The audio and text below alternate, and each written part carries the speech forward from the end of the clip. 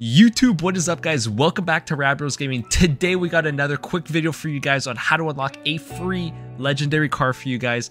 Today we're going to be showing you how to unlock the Corvette, the ZR1 specifically guys. It is a free unlock literally. It should cost you nothing up front but I am going to show you the full process on how you can do it very quickly. Before we get into the video, guys, make sure to smash that subscribe button right now and click on all of our social media links below and give them all a quick follow. Let's get right into it. So guys, essentially you're want to come into your accolades here. Um, if you don't know where the accolades are, it's literally just go into your start menu, click on the accolades right here.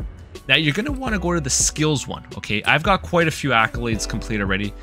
And if you scroll over, you're to see it right here, the, the millionaire status. Yes, apparently I'm a millionaire, Forza.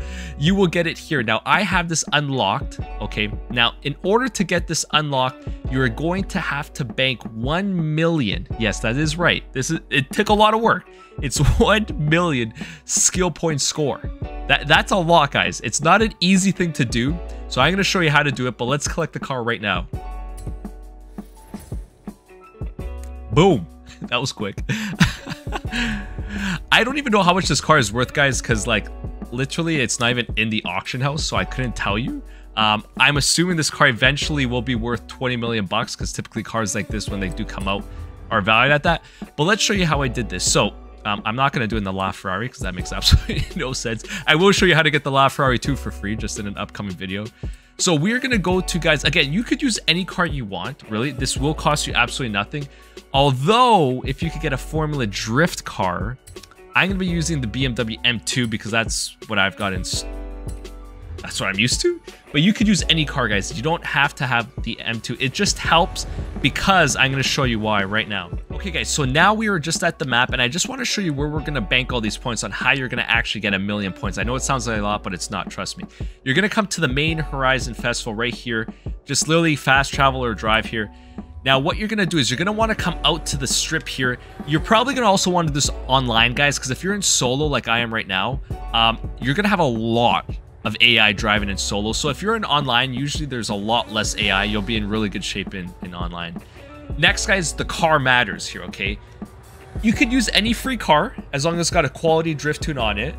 Um, but if you get an FD car, guys, the car mastery section, which we're gonna, I'm gonna show you here, you could upgrade this to a seven multiplier, which will speed this process up a heck of a lot, guys.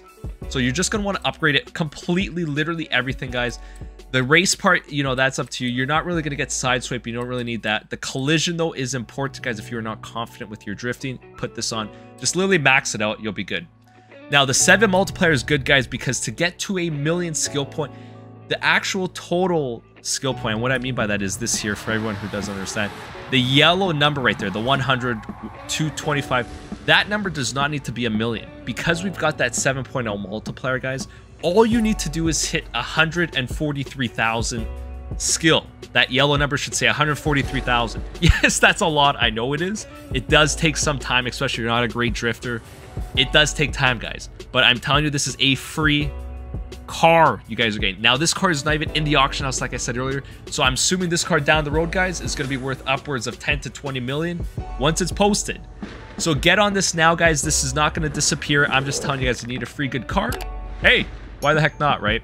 Now, the airstrip is the best, guys, because you got a bunch of... You got, not a bunch, but a variety of areas. You got the straightaway, you could get speed, you've got just drifting. You could go off track a little bit, just watch the rocks, guys. You could get the, you know, the, the wreckage from the cactuses and the, the, the landscaping thing. You could get all those skill points.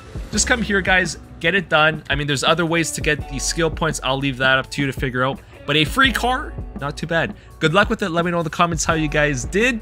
Let me know how much skill points you guys earned from this. But make sure you bank the guys. Do not lose them. Also, you cannot rewind. Do not rewind, guys. You will lose your total if you rewind. So make sure you don't rewind. Good luck with it. Peace out. We'll see you in the Laugh LaFerrari video, which is upcoming in the next couple days. Peace, guys.